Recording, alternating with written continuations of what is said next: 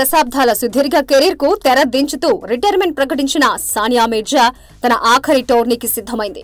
Dubai duty free WTA thousand series championship తరువాత ఆమెను మనం మళ్ళీ కోర్టులో చూడలేం. ఈ నేపథ్యంలో సానియా స్పందించింది.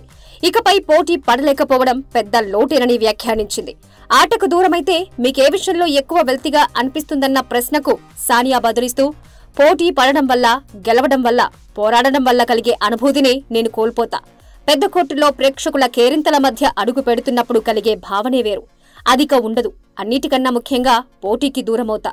అది పెద్ద వెలితే రిటైర్మెంట్ తర్వాత నేనేం చేసినా పోటీ పడడం వల్ల కలిగే అనుభూతి దేనివల్ల కలగదు అని చెప్పింది.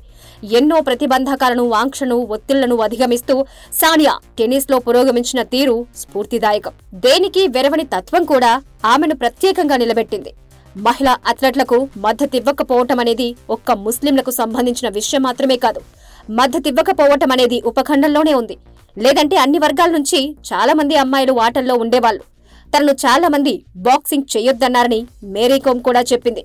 మా కుటుంబం తమ అమ్మాయిని టెన్నిస్లో ప్రోత్సహించడానికి ఏమాత్రం సంకోచించలేదు. మా కుటుంబం అప్పటి తరం కన్నా చాలా ముందుంది. మా అమ్మా నాన్న ఒత్తిడిని ఎదుర్కొన్నారో లేదో తెలియదు కానీ నన్ను ఒత్తిడికి గురయ్యేలా మాత్రం ఎప్పుడూ చెయ్యలేదు అని సానియా చెప్పింది. ఆట వల్ల నువ్వు నల్లబడితే నిన్నెవరు పెళ్ళి చేసుకుంటారు? అని ఆంటీలు అంకుళ్ళు అనేవాళ్ళు. ప్రతి అమ్మాయికి ఇలాంటి కథ ఉంటుంది అని ఆమె అంది.